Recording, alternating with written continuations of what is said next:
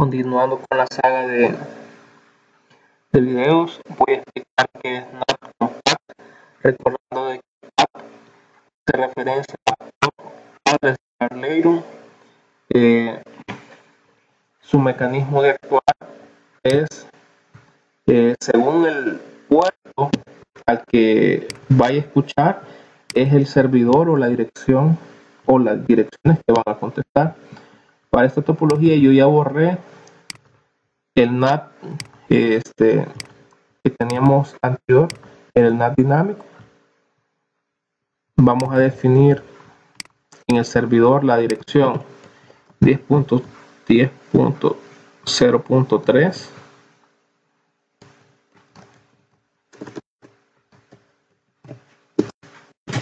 punto 1 ¿Qué más? Vamos a definir este servidor como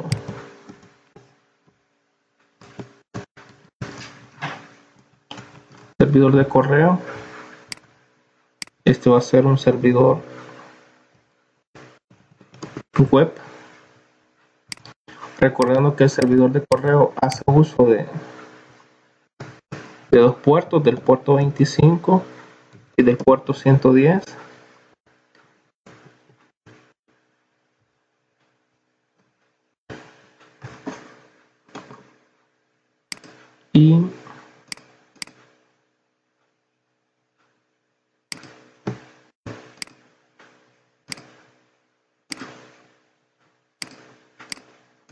quedó unido. A su uso del puerto 25 y 110 este hace uso del puerto 80 y para esto nosotros vamos a definir el NAT acá. Eh, vamos a poner de ejemplo la dirección IP555 en donde nuestro direccionamiento privado está de este lado y el público va a estar de este lado ahora a esta dirección se le va a anteponer que sea un puerto TCP o UDP y dependiendo el puerto en que vaya a contestar, así se va a tomar la decisión de a qué servidor va, va a contestar. Eh, así como antes, definamos quién va a ser nuestro IP NAT inside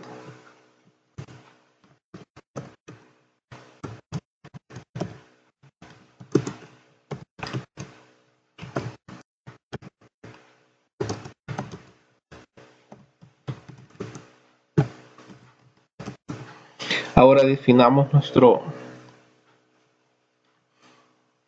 nuestra regla de NAT IP NAT inside. Me faltó la N. Y ahora vamos a decidir source static. En este caso vamos a definir TCP un puerto. Vamos a decir la IP local. Eh, vamos a definir la del puerto del servidor web. Servidor web. Y faltaría poner el puerto local puerto 80 una IP en este caso va a ser la 5555 y va a ser el puerto 80 ahora las otras van a venir contestando por el puerto 25 puerto 25 pero el servidor de correo es el 103 y también va a tener el puerto 110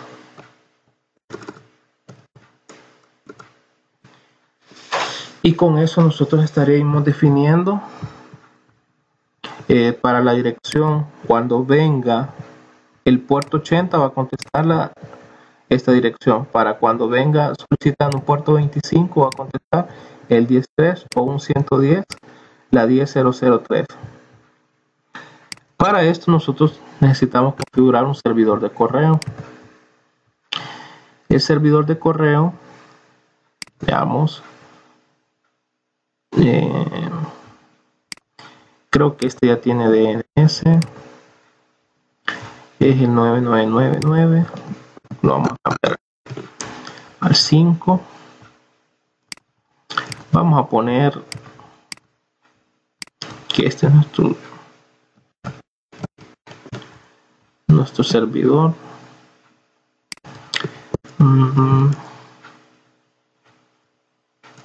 Si la solicitud viene a este de correo. Bueno creo que acá no necesitamos esta dirección IP nos vamos a ir a servicios email que estén activos jcnet.net le vamos a dar setear. Los usuarios jc password 1 2 3 4 5 6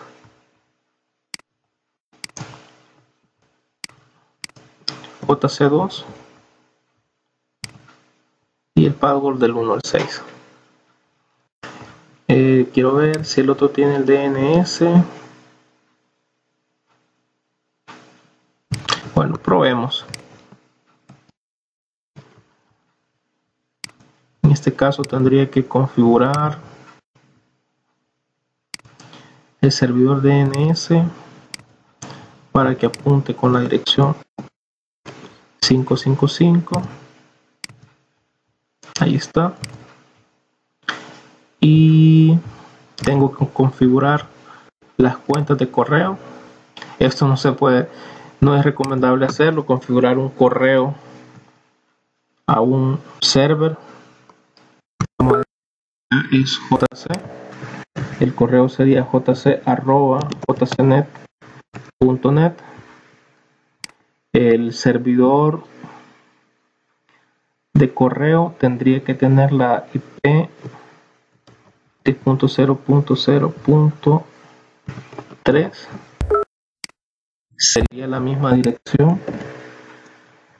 El usuario es jc y la contraseña sería del 1 al 6 le damos a crear. Pongamos una cuenta de correo acá jc2 el correo es jc2 arroba arroba jcnet.net el servidor de correo. Uy.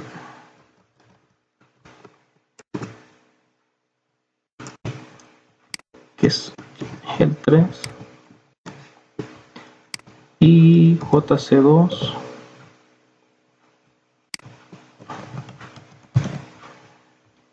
si esto está bien configurado yo podría enviar un correo a jc arroba jcnet.net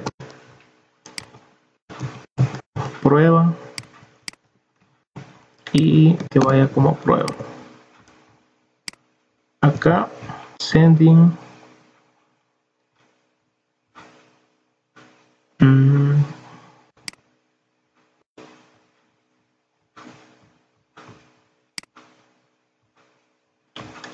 veamos qué sucede configuración del correo.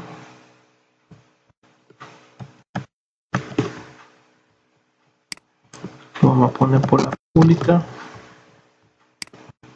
Pequeño detalle. Por eso creo que aquí estaba definido como la pública exacto. Servidor de correo servicios email. Y TNS no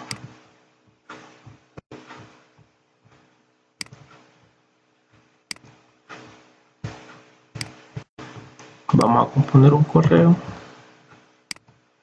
Jc arroba jcnet.net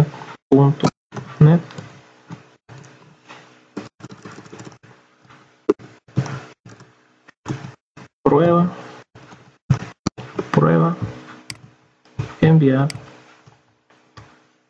Eh, no se ha cambiado todavía no me ha cambiado. Creo que no le di guardar.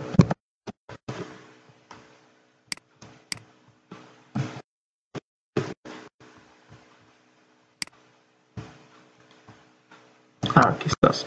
Guardar hoy sí componer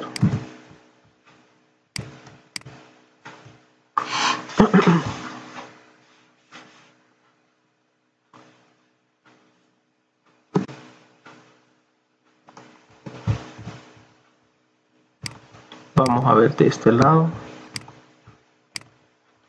Recibir aquí está el correo. Vaya hoy sí.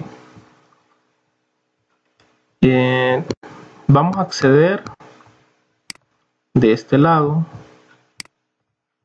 a lo del correo y de este lado al servidor web.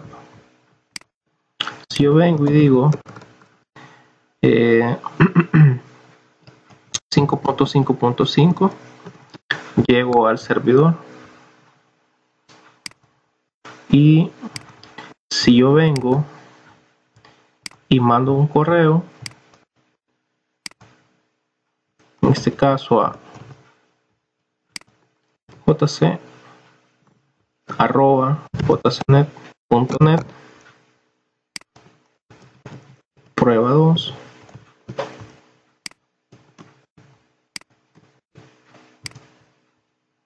ya en el buzón de este ya tendría que estar recibir. Ya está la prueba 2 ahora cómo se ve el NAT por PAT IP NAT traslación. Y vean que aquí se corresponden. Según el puerto que solicite el cliente es la dirección IP que se va a contestar. Por ejemplo la IP que tiene la 2 él solicita entrar al servidor de correo y contesta la dirección IP 10002 pero la dirección IP 04 él pide enviar un correo se conecta a los puertos 25 ahora esto es NAT por PAT. Las configuraciones si ustedes lo notaron solo fueron estas tres líneas pero deben de entender de que estas tres líneas solo son en este caso para los servicios. Lo voy a poner aquí en pantalla.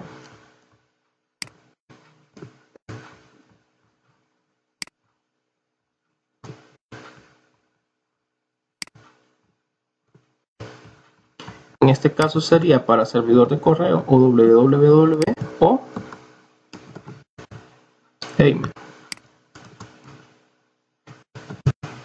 acá el puerto 25 es el SMTP y este es el que se le conoce como POP esto ha sido todo con la parte de NAT espero que estén practicando y estaría al pendiente de terminar el video de ACLs